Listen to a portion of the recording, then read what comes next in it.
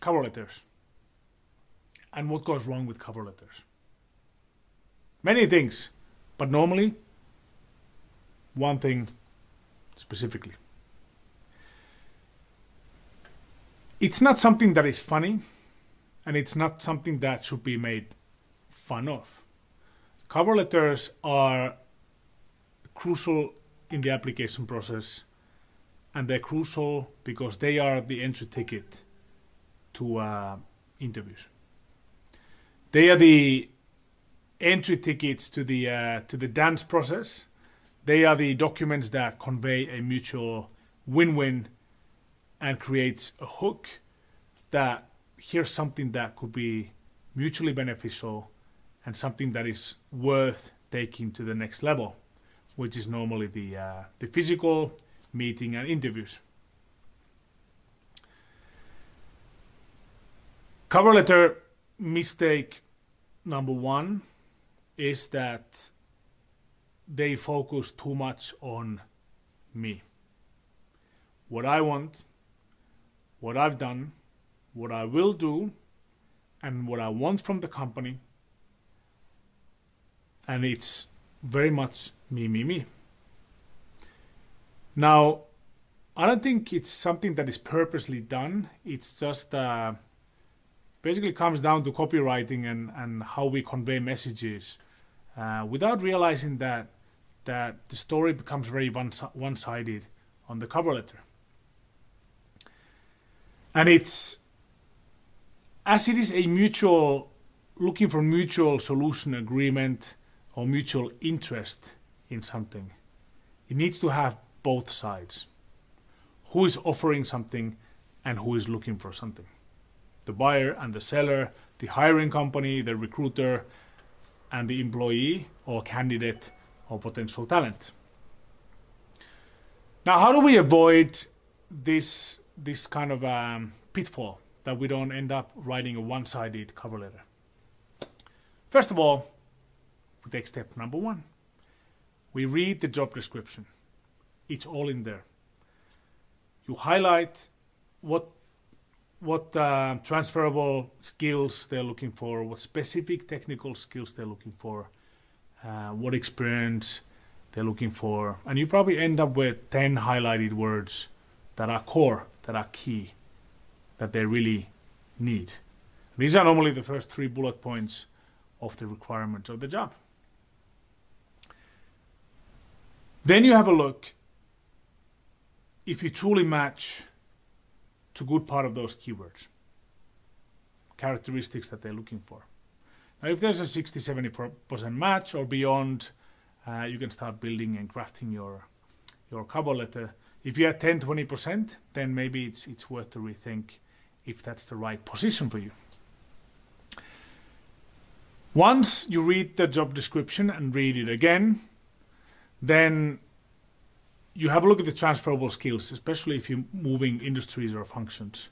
What can be transferred? What knowledge is useful for the uh, for the company? And then you look at the specific skills that you have. You match them. You put two columns. You match. What do I have to offer? How do I make sure that I'm truthfully hitting the keywords that are being asked for? And then you start. And I've seen cover letters of of um, three pages, sometimes even longer. Cover letter, in my opinion, is one page. No more. Whatever you need to discuss further, then you bring it up in the in the face-to-face discussion. Three page cover letter will not get you the interview.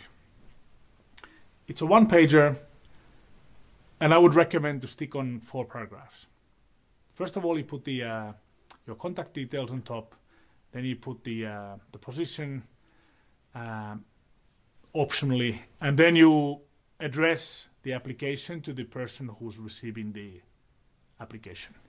Always try to find out the receiving party. It shows that you've done your research. It shows that you're professional. It shows that you're actually truly interested in the position and not just shooting applications uh, as they come. Four paragraphs. first paragraph should only say introduction. My name is, and I'm uh, I'm excited to introduce myself for this particular position, or I'm applying for this position. Uh, please find it attached. First paragraph. Next paragraph.